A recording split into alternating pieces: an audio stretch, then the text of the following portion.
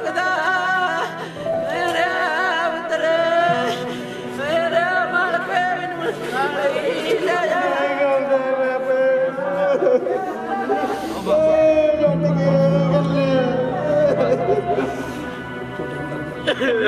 ਮੇਰਾ ਭਤੀਜਾ ਹੈ।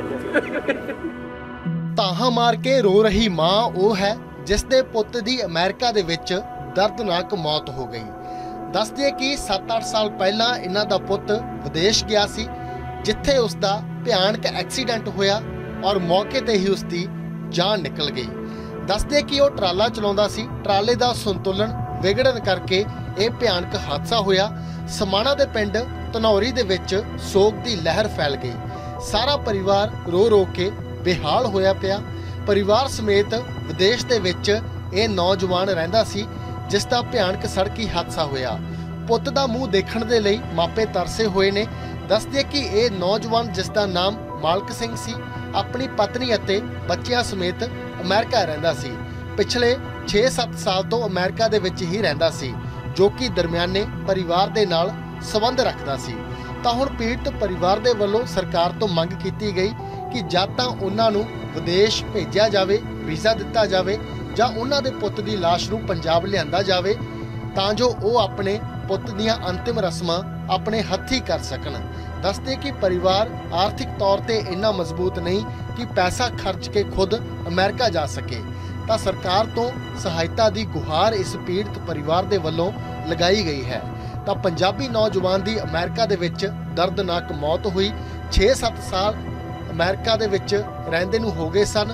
ਔਰ ਟਰਾਲਾ ਚਲਾਉਂਦਾ ਸੀ। ਟਰਾਲੇ ਚਲਾਉਂਦੇ ਸਮੇਂ ਸੰਤੁਲਨ ਵਿਗੜ ਗਿਆ ਤਾਂ ਟਰੱਕ ਆ ਜਿਹੜਾ, ਉਹ ਪਲਟ ਗਿਆ। ਮੌਕੇ ਦੀਆਂ ਤਸਵੀਰਾਂ ਵੀ ਸਾਹਮਣੇ ਆਈਆਂ ਨੇ, ਜਿਸ ਦੇ ਵਿੱਚ ਟਰਾਲਾ ਪਲਟਿਆ ਹੋਇਆ, ਸਾਰਾ ਸਮਾਨ ਆ ਜਿਹੜਾ, ਉਹ ਥੱਲੇ ਡਿੱਗਿਆ ਪਿਆ। ਇਹ ਭਿਆਨਕ ਹਾਦਸੇ ਦੀਆਂ ਤਸਵੀਰਾਂ ਨੇ, ਜੋ ਅਮਰੀਕਾ ਤੋਂ ਸਾਹਮਣੇ ਆਈਆਂ ਨੇ। ਤਾਂ ਰੋ ਰੋ ਕੇ ਪਰਿਵਾਰ ਬੇਹਾਲ ਹੈ ਔਰ ਸਰਕਾਰ ਤੋਂ ਅਪੀਲ ਕੀਤੀ ਜਾ ਰਹੀ ਹੈ ਕਿ ਉਹਨਾਂ ਦੇ ਪੁੱਤ ਦੀ ਲਾਸ਼ ਨੂੰ ਜਾਂ ਤਾਂ ਪੰਜਾਬ ਲਿਆਂਦਾ ਜਾਵੇ ਜਾਂ ਉਹਨਾਂ ਨੂੰ ਵੀਜ਼ਾ ਦਿੱਤਾ ਜਾਵੇ ਅਮਰੀਕਾ ਜਾਣ ਦਾ ਕਿ ਤਾਂ ਜੋ ਆਪਣੇ ਪੁੱਤ ਦੀਆਂ ਅੰਤਿਮ ਰਸਮਾਂ ਆਪਣੇ ਹੱਥੀਂ ਕਰ ਸਕਣ। ਇਹ ਮਾਲਕ ਸਿੰਘ ਨਾਂ ਸੀ ਬੱਚੇ ਦਾ। ਮਾਲਕ ਸਿੰਘ। ਕਿੰਨੀ ਚਿਰ ਤੋਂ ਗਏ ਸੀ? ਪਿਛਲੇ 6-7 ਸਾਲਾਂ ਤੋਂ ਅਮਰੀਕਾ ਹੀ ਸੀ। ਪਰਿਵਾਰ ਦੇ ਸਮੇਤ ਵਧੀਆ ਉੱਥੇ ਆਪਣਾ ਟਰੱਕਿੰਗ ਦਾ ਕੰਮ ਕਰਦਾ ਡਰਾਈਵਰ ਸੀ। ਕੱਲ ਰਿਚ ਹੋੜ ਤੇ ਰਿਚ ਰਿਚਮੰਡ ਹਿੱਲ ਤੇ ਹੂੰ। ਗੱਡੀ ਅਚਾਨਕ ਹੀ ਸੰਤੁਲਨ ਗਵਾਚ ਕੇ ਸੜਕ ਤੋਂ ਥੱਲੇ ਲੈ ਗਈ ਏ ਤੇ ਆਉਣੇ ਮੌਕੇ ਤੇ ਹੀ ਇਹ ਪੂਰਾ ਹੋ ਗਿਆ। ਤੁਹਾਨੂੰ ਕਦੋਂ ਪਤਾ ਲੱਗਿਆ? ਸਾਨੂੰ ਕੱਲ ਸਵੇਰੇ 4:30 ਵਜੇ ਪਤਾ ਲੱਗਾ ਉੱਥੋਂ ਦੇ ਸ਼ਾਮ ਦੇ ਪੌਣੇ 4 ਦਾ ਟਾਈਮ ਹੋਇਆ ਸੀ ਲਗਭਗ। ਵਧੀਆ ਬੰਦਾ ਸੀ। ਸਾਡੇ ਦੇ ਘਰ ਦਾ ਇੱਕ ਵਾਰ ਪੁੱਠਾ ਗੇੜੀ ਦਾ ਜੀ ਕੀ ਸਰਕਾਰਾਂ ਤੋਂ ਕੀ ਡਿਮਾਂਡ ਕਰਦੇ ਹੋ? ਅਸੀਂ ਇਹੋ ਡਿਮਾਂਡ ਕਰਦੇ ਹਾਂ ਜੋ ਹੋਣਾ ਹੀ ਉਹ ਤੇ ਹੋ ਗਿਆ। ਹੁਣ ਘੱਟ ਤੋਂ ਘੱਟ ਇਹਨਾਂ ਦੇ ਮਾਪਿਓ ਨੂੰ ਵਿਜੇ ਵਾਸਤੇ ਸਾਡੀ ਸਹਾਇਤਾ ਕਰ ਦੇਣ। ਵੀ ਇਹ ਜਾ ਕੇ ਆਪਣੇ ਬੱਚੇ ਦੀ ਕਿਰਿਆਕਰਮ ਜੋ ਵੀ ਰਸਮਾਂ ਉੱਤੇ ਨਿਭਾ ਕੇ ਆ ਸਕਣ। ਪਰਿਵਾਰ ਦੇ ਹਾਲਾਤ ਕਹੇ ਜਿਹੇ ਨੇ?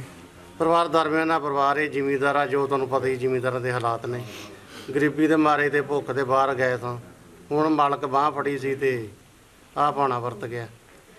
ਪੂਰੀ ਪਰਿਵਾਰ ਉੱਥੇ ਰਹਿੰਦਾ ਕੋਈ? ਹਾਂ ਉਹਦੇ ਵਾਈਫ ਹੈ ਬੱਚੇ ਉੱਥੇ ਨੇ ਉਹਨਾਂ ਦੇ। ਤੁਹਾਡੀ ਕੋਈ ਸਰਕਾਰ ਦਾ ਨੁਮਾਇੰਦਾ ਤੁਹਾਡੇ ਕੋਲ ਆਇਆ? ਅਜੇ ਤੱਕ ਕੋਈ ਨਹੀਂ ਆਇਆ। ਪਟਵਾਰੀ ਸਾਹਿਬ ਦਾ ਫੋਨ ਆਇਆ ਉਹ ਲੱਗੇ ਹੁੰਦੇ ਨੇ। ਬਾਕੀ ਕੋਈ ਵੱਡਾ ਕੋਈ ਅਜੇ ਤੱਕ ਕੋਈ ਨਹੀਂ ਪਹੁੰਚਿਆ। ਕੋਈ ਐਸਡੀਐਮ ਕੋਈ ਨਹੀਂ, ਕੋਈ ਮੰਤਰੀ। ਕਿਸੇ ਤਰ੍ਹਾਂ ਦਾ ਕੋਈ ਵੀ ਨਹੀਂ ਪਹੁੰਚਿਆ ਅਜੇ ਤੱਕ। ਤੇ ਹੁਣ ਤੁਸੀਂ ਕੀ ਮਤਲਬ ਕਿ ਸਰਕਾਰ ਤੋਂ ਪ੍ਰਸ਼ਾਸਨ ਤੋਂ ਇਹੋ ਵੀ ਜੇ ਕੋਈ ਹੋ ਸਕਦਾ ਸਾਡੀ ਇਹਨਾਂ ਦੀ ਹੈਲਪ ਕਰਨ ਤੇ ਵਿਜੇ ਤੋਂ ਕੋਈ ਸਾਡੀ ਸਹਾਇਤਾ ਕਰਦੇ ਮਾਂ ਪਿਓ ਜਾ ਕੇ ਉਹਦੀ ਲਾਸਟ ਕਿਰਿਆ ਕਰਮ ਕਰਕੇ ਆ ਸਕਣ ਕੋਈ ਇਹਨਾਂ ਨੂੰ ਵੀ ਸੰਤੁਸ਼ਟੀ ਹੋਵੇ ਆਪਣੇ ਹੱਥੀ ਉਹ ਬੱਚੇ ਦਾ ਸਾਰਾ। ਤੁਹਾਡਾ ਕੀ ਨਾਮ ਹੈ? ਮੇਰਾ ਨਾਮ ਗੁਰਬਾਜ ਸਿੰਘ ਹੈ ਜੀ। ਮੇਰਾ ਨਾਮ ਲਖਵਿੰਦਰ ਸਿੰਘ ਹੈ ਜੀ। ਲਖਵਿੰਦਰ ਸਿੰਘ ਕਿਹੜਾ ਜੀ ਪਿੰਡ ਹੈ ਜੀ? ਹਾਂਜੀ ਤਨੋੜੀ ਤੋਂ ਹੀ ਹੈ ਜੀ। ਹਾਂ ਧੰਨਵਾਦ ਜਿਹੜਾ ਬੱਚਾ ਦੀ ਡੈਥ ਹੋਈ ਹੈ ਅਮਰੀਕਾ ਰਹਿੰਦਾ ਸੀ ਕੀ ਕਹਿਣਾ ਚਾਹੁੰਦੇ? ਕੌਣ ਸੀ ਕੀ ਨਾਂ ਸੀ ਉਹਦਾ ਅਸੀਂ ਵੀਰ ਜੀ ਇਹੀ ਕਹਿੰਦੇ ਆ ਵੀ ਇਹਨਾਂ ਦੇ ਪਰਿਵਾਰ ਦੀ ਕੋਈ ਸਹਾਇਤਾ ਕੀਤੀ ਜਾਵੇ। ਤੁਹਾਨੂੰ ਪਤਾ ਹੀ ਹੈ ਵੀ ਮਾੜੇ ਹਾਲਾਤਾਂ ਜੋ ਜ਼ਿਮੀਂਦਾਰ ਹੈ ਜੋ ਕਿਵੇਂ ਬੰਦਾ ਟੋਰਦਾ ਬੱਚਿਆਂ ਨੂੰ ਇਹਨੇ। ਜੋ ਵੀ ਸਰਕਾਰ ਕਿਸੇ ਨੇ ਅਜੇ ਤੱਕ ਰਾਣ ਕੇ ਕੋਈ ਇਹਨਾਂ ਦੀ ਬਾਤ ਨਹੀਂ ਲਈ ਜੀ। ਬੜੇ ਔਖੇ ਹਾਲਾਤਾਂ ਦੇ ਵਿੱਚੋਂ ਤੁਹਾਨੂੰ ਪਤਾ ਹੀ ਜ਼ਿਮੀਂਦਾਰਾਂ ਦੇ ਵਿੱਚੋਂ ਅੱਜ ਕਿਵੇਂ ਬੰਦਾ ਵੇਚ ਵੱਟ ਕੇ ਤੇ ਬੱਚਿਆਂ ਨੂੰ ਭੇਜਦਾ ਜੀ। ਹੁਣ 7-8 ਸਾਲ ਹੋ ਗਿਆ ਹੁਣ ਬੱਚੇ ਮਾੜਾ ਮੋਟਾ ਚਲੋ ਸਾਨੂੰ ਆਸ ਵੱਜੀ ਸੀ ਤੇ ਹੁਣ ਪ੍ਰਮਾਤਮਾ ਨੇ ਤੁਹਾਨੂੰ ਪਤਾ ਹੀ ਹੈ ਕੀ ਬਣਿਆ ਜੀ। ਕਿੰਨੀ ਕੁ ਖੇਤੀ ਹੈ ਇਹਨਾਂ ਦੀ? ਖੇਤੀ ਉਹ ਸਾਡੇ ਪਰਿਵਾਰਾਂ ਕੋਲ ਹੈਗੀ ਹੈ ਜੀ ਕੋਈ 7-7 8-8 ਕਿੱਲੇ ਜ਼ਮੀਨ ਹੈ ਜੀ 6-6 7-7 ਪੈਲੀਆਂ। ਅੱਛਾ ਭਰਾ ਸੀ ਇਹ? ਇਹ ਤਿੰਨ ਭਾਈ ਹਨ ਜੀ ਇੱਕ ਦੀ ਡੈਥ ਹੋ ਗਈ ਜੀ ਪਹਿਲਾਂ। ਹਾਂ ਤੇ ਵੱਡੇ ਭਰਾ ਦੇ ਉਹਦੇ ਬੱਚੇ ਉੱਥੇ ਨੇ ਅਮਰੀਕਾ ਹੀ ਜੀ। ਅੱਛਾ। ਤੇ ਇਹਨਾਂ ਨੂੰ 7-8 ਸਾਲ ਹੋ ਗਏ ਨੇ ਇਹਨਾਂ ਬਾਅਦ ਚ ਭੇਜਿਆ ਜੀ। ਹੁਣ ਸਰਕਾਰ ਤੋਂ ਕੀ ਡਿਮਾਂਡ ਕਰਦੇ ਹੋ ਪਿੰਡ ਵਾਸੀਆਂ ਕੇ? ਸਰਕਾਰ ਤੋਂ ਅਸੀਂ ਇਹ ਮੰਗ ਕਰਨੇ ਜੀ ਸਾਡੇ ਆਣ ਕੇ ਕੋਈ ਬਾਤ ਲੈਣ ਪਰਿਵਾਰ ਦੀ ਵੀ ਕੋਈ ਇਹਨਾਂ ਨੂੰ ਕੋਈ ਮਾੜਾ ਮੋਟਾ ਵਿਜੇ ਚ ਸਹਾਇਤਾ ਕਰਨ ਜੋ ਵੀ ਮਾਲੀ ਸਹਾਇਤਾ ਕਰ ਸਕਦੇ ਨੇ ਬੱਚੇ ਦੀ ਕਰਨ ਜੀ। ਅਸੀਂ ਤੇ ਵੇਚ ਵੱਟ ਕੇ ਤੁਹਾਨੂੰ ਪਤਾ ਹੀ ਹੈ ਕਿਹੜੇ ਹਾਲਾਤਾਂ ਦੇ ਵਿੱਚੋਂ। ਜ਼ਿਮੀਦਾਰ ਬੱਚਿਆਂ ਦਾ ਕਰਦਾ ਜੀ।